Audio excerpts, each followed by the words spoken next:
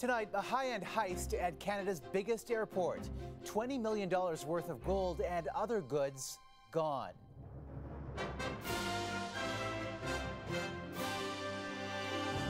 Precious cargo pinched after landing at Pearson. I really don't know like who stole it and what their connections may be. An intense search for suspects.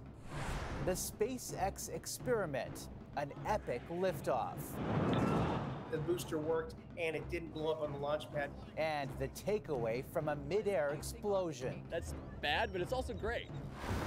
Plus, the criminal case against Alec Baldwin is dismissed. When the new special prosecutors came on board, they brought fresh eyes to this. Dropping the manslaughter charges in a deadly film set shooting.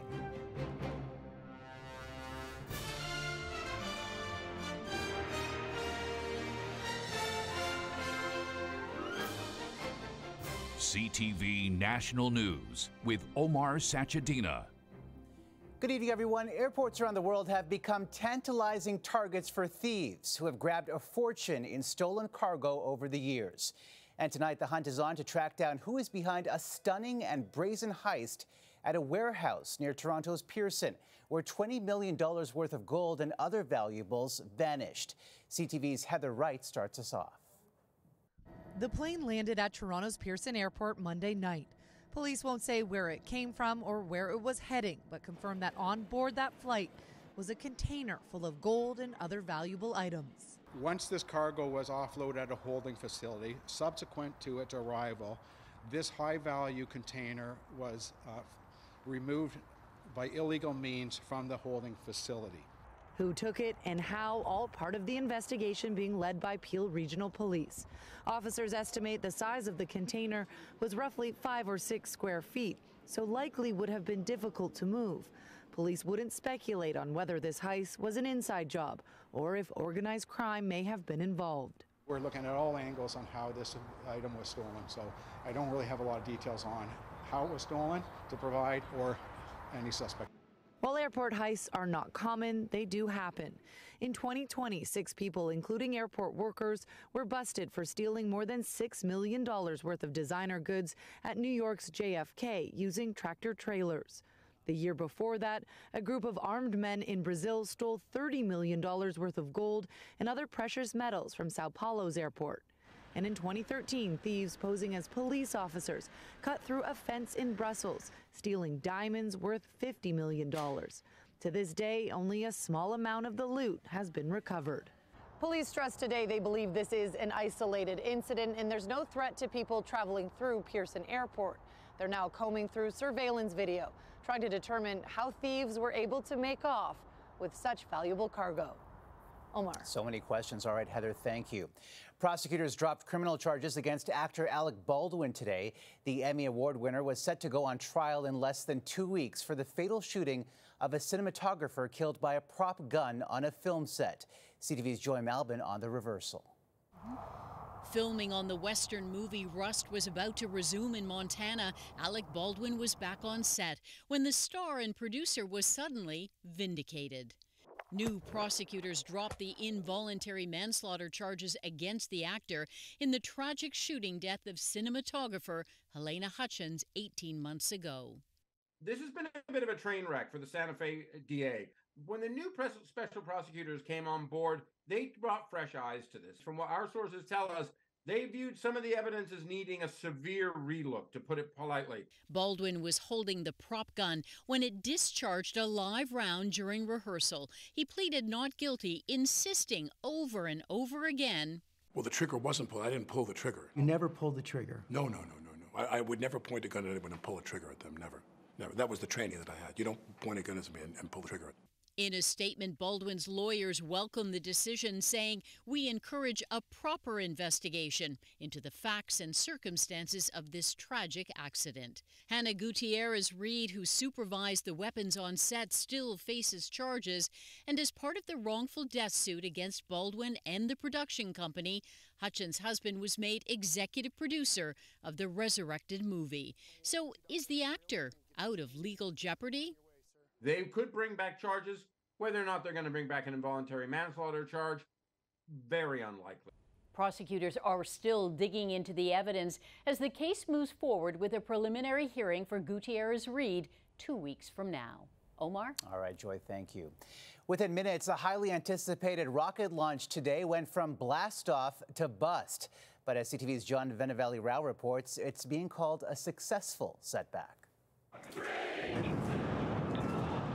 For space enthusiasts, it was a moment to savor. The tallest and most powerful rocket ever built, finally lifting off from a launch pad in Texas and drawing a huge crowd there to witness history.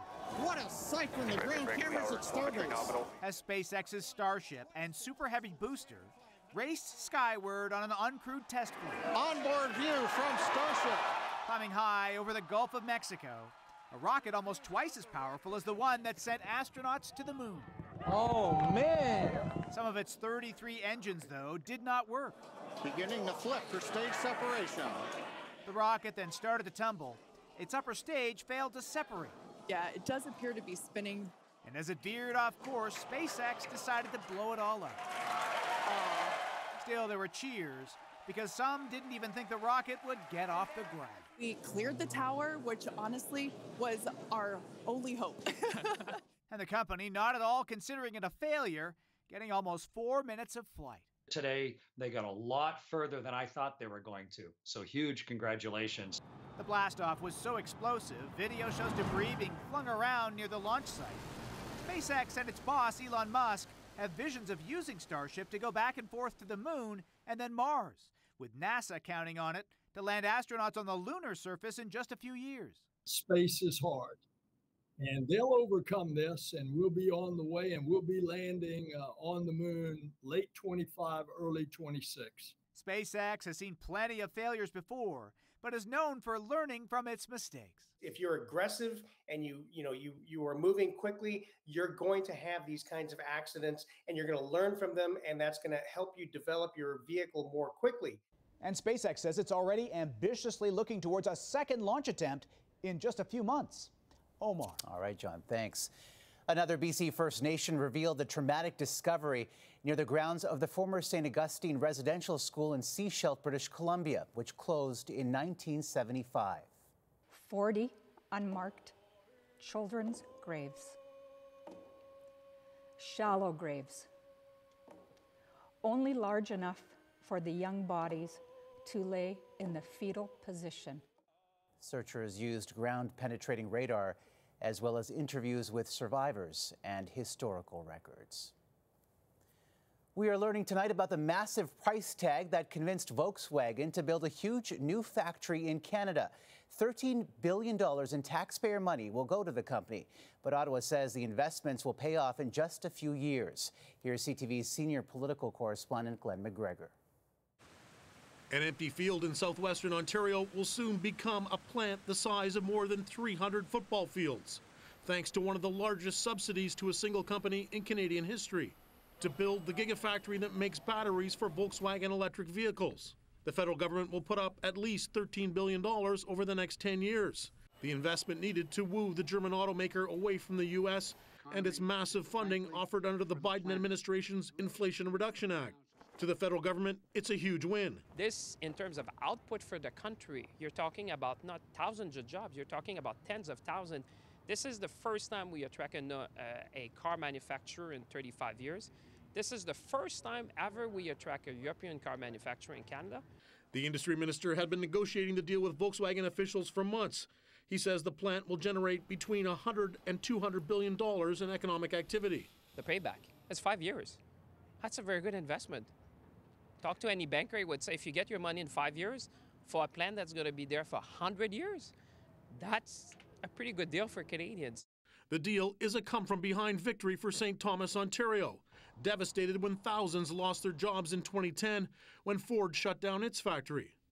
The batteries they'll make to be shipped to a plant in Tennessee for use in Volkswagen EV SUVs. If we didn't get this investment and the announcement for Volkswagen was in Michigan tomorrow, we'd probably be saying, What happened to Canada? Uh, where did we go wrong? There will be more costs for governments ahead, building the roads and other infrastructure to bring critical minerals and other materials to the factory, and potentially more subsidies still to come as the government hopes to lure other investments from automakers like Stellantis. The funding will be formally announced at an event in St. Thomas tomorrow, with Premier Doug Ford joining the Prime Minister and other officials, revealing how much the Ontario government will also contribute. Omar. All right, Glen McGregor in Ottawa tonight. Canada's National Soccer Association announced another major leadership change today, revealing in a statement it has mutually agreed to part ways with General Secretary Earl Cochrane. Cochrane has helped lead the sport's governing body since last July. In February, Nick Bontis, Canada Soccer's president, also resigned. Public service workers remain off the job for a second day in one of the largest strikes of its kind. The most immediate impact is on travelers who can't get new passports even if they have a trip booked. Here's CTV's Judy Trinh on the uncertainty. You gotta raise me one, one, two. When one third of the federal public service walks out, the pain is felt immediately in government services. Without staff to process passports, some Canadians are being forced to put travel plans on hold. I was talking to my boyfriend, and he wanted to travel with me because I have a little bit of benefits I can take him. But uh, he won't be able to renew his passport, so we won't be able to go anywhere. My other family members need to renew it. He's like, please don't come back until the labor labor disputes over. We, we're not accepting any more passports. I don't know. The government is only processing passports in emergency cases, such as for medical needs or for visits to critically ill relatives. The delays harken back to last summer. That's when pandemic travel restrictions loosened and the demand caught the government off guard. Canadians waited in line for hours, only to be told they had to wait months for documents to arrive. To fix it, the government doubled its passport staff and improved online services. The good news is, is that we're in a much better position this time this year than we were last year. There's a lot more capacity in the system. So, solidarity! The union wants at least a 13.5% wage increase over three years, while the government is offering nine. Once we're properly compensated, we could properly service the people that need the, our services. But the picket lines have brought back uncomfortable deja vu. Public sector strike. The opposition keeps pointing out. Even before the strike, these liberals were breaking records, creating massive backlogs at passport offices, Service Canada, airports, and immigration. The government says it's still at the negotiating table. We don't know how close they are to reaching a deal.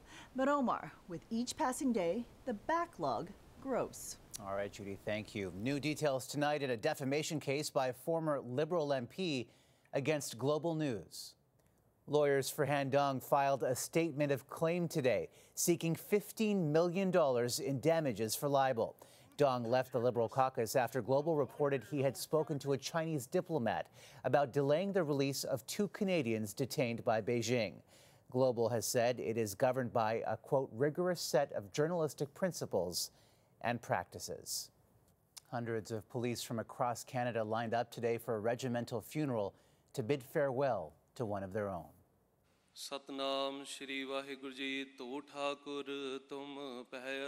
RCMP Constable Harvinder Singh Dhami died in a crash while on duty 10 days ago.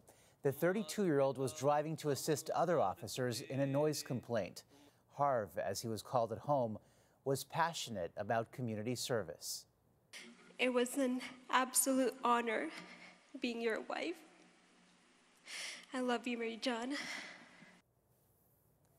New details tonight in the case of a suspected serial rapist near Calgary. A search warrant reveals chilling details about what police expected to find. Here's CTV's Alberta Bureau Chief Bill Fortier. A close look at the property raided by police and searched for five days last week shows the mess left behind. Inside a large building being rented by the suspect, a trailer where it appears he was living. 59 year old Richard Mantha faces 16 charges. It's alleged he abducted at least three sex trade workers in Calgary over a 15 month period, took them back to the rural property, then assaulted and sexually assaulted them. Investigators say at least two of them were drugged, and police say there may be more victims. A search warrant viewed by CTV News shows police believed they would find a gun, a pig mask, bodily substances, including blood and DNA drugs, and human remains, evidence that was expected to support a charge of indignity to a human body. It's used when a body is handled improperly after death. But that charge has not been laid. What does that suggest to you? That suggests to me that they didn't find the human remains, that they obviously had reasonable grounds or re reasonable suspicion to get in that search warrant to think, think that they were there. Police have not specified what they did find, but say thousands of pieces of evidence were seized. It's overwhelming for sure. The couple that owns the property Mantha was renting part of is still reeling as more details of what police suspected are revealed. When I think too much about it, I start freaking out. But now that I know all that, I'm scared every single day. Richard Mantha appeared briefly in court today over CCTV. His lawyer scheduled a bail hearing for May 12th. Omar. All right, Bill, thanks. The intense manhunt for the suspect in the shootings of a six year old girl and her parents in North Carolina is over after he turned himself in. Neighbors say the girl was shot after a group of kids went to get a basketball that had rolled into the suspect's yard. Her cheek was struck by bullet fragments. Why did you shoot my daddy and me? Tried to shoot a kid's dad. Her father is recovering after being shot in the back. Her mother was also grazed by a bullet. Coming up after the break. She had barely opened her mouth to say ah, and the doctor was like, that's strep. The concerning rise of a common bug, plus the risk on the roads after a wintry blast.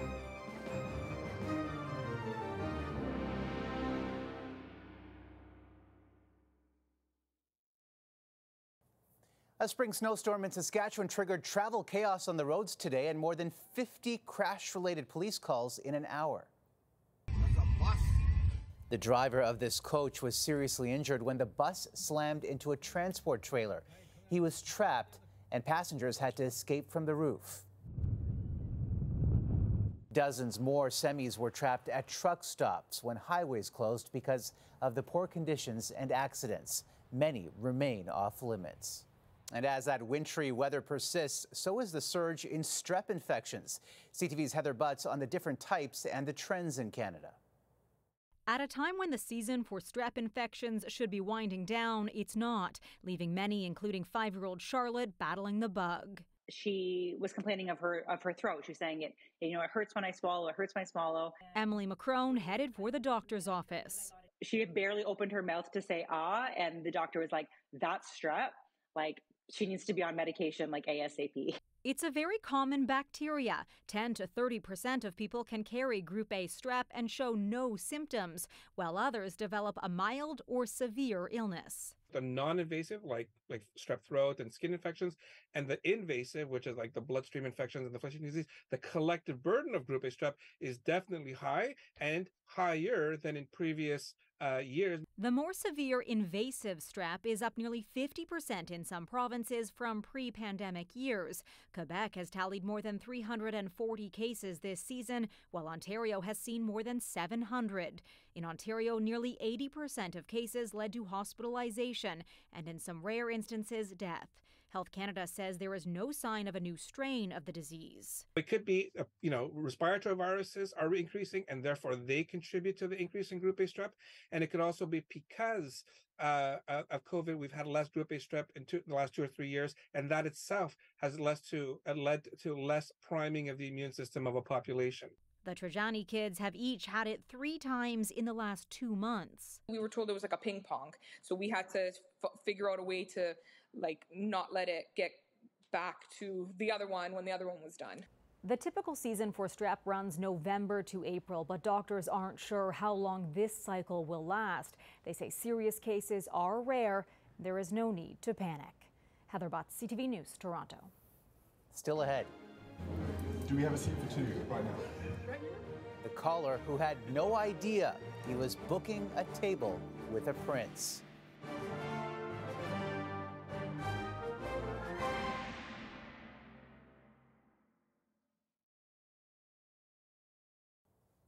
Shock and condolences from fans across the world at the sudden death of K pop star Moonbin. The 25 year old singer was found dead in his home in Seoul on Wednesday, and while the cause is unknown, police say there are no signs of foul play. The family of Michael Schumacher says it's planning legal action against a German tabloid after it published a fake interview Turns out it was generated by artificial intelligence and detailed quotes of the former race car driver's accident in 2013 and recovery. The tabloid claimed it was his first interview since that accident.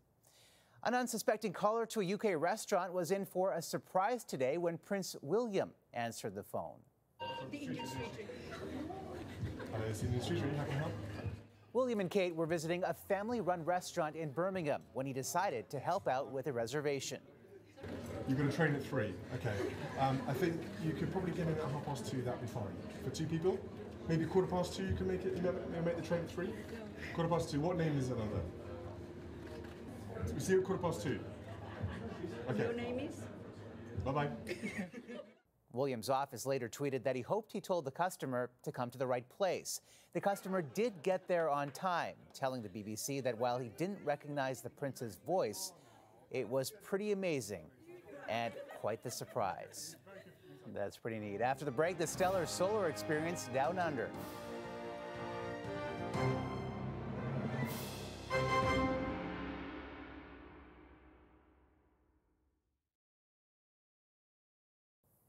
A group of dedicated stargazers descended on a remote Australian resort town today to capture one of the most spectacular sights this decade when a rare celestial event turned day into night. CTV's Melanie Nagy explains. The Australian coastal community of Exmouth is home to fewer than 3,000 people, but today the tiny town's population exploded as hordes of eclipse hunters gathered nearby. It's the three most significant planetary bodies for our existence going into perfect alignment. They set up camp in a dusty field and came armed with fancy cameras as well as special glasses. All of it so they could experience firsthand a rare hybrid solar eclipse. This spectacular event of the, uh, the moon moving in front of the sun to cause an eclipse. About midday, it started to get dark, and as it did, people turned their gaze towards the sky. For the first time in nearly 10 years, the moon passed between the Earth and Sun in such a way that it shifted between a total and annular eclipse. In response, there were cheers and even tears. Not only in Australia, but in Indonesia and East Timor, where the intriguing celestial event could also be seen. Someone turned the lights out and turned them back on again. How good was that? The spectacular eclipse only lasted about 60 seconds. It, you know, it's only a minute long, but it really felt like a long time. But judging by the excitement in Exmouth, Oh, wow, that is cool. The memories will last a lifetime. It's my second one. I hope I'm still around for the third one. As for when that will be, the next one isn't until 2031. Melanie Nagy, CTV News, Vancouver. Incredible. And that's a snapshot of this Thursday. To all Muslims celebrating, we wish you and your families a joyous Eid al Fitr. Good night.